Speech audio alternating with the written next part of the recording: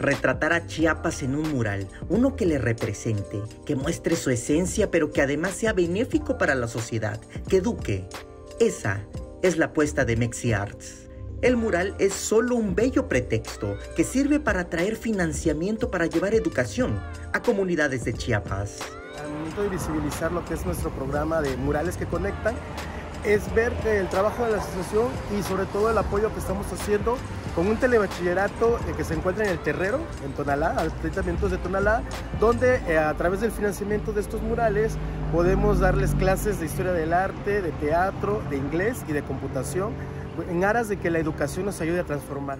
Y por ello van dejando huella para visibilizar el arte con sus murales, como este en Sinacantán o este otro, Madre Chiapas, que están realizando en Tuxtla Gutiérrez y que será vecino de la visión plástica de la historia de Chiapas del artista César Corso.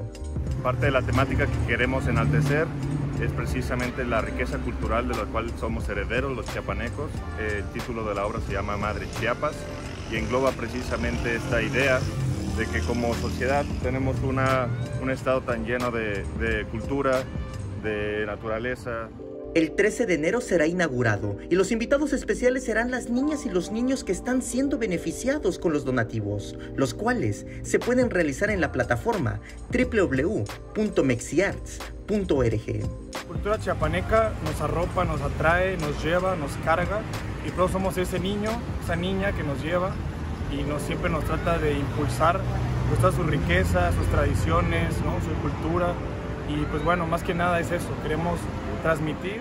Con la colaboración del teatrista Carlos Ariosto y Leonardo Toledo, la propuesta artística de Madre Chiapas es de Leonardo Tadlock, chiapaneco radicando en Alemania, que ha llevado su arte a diferentes escenarios del mundo.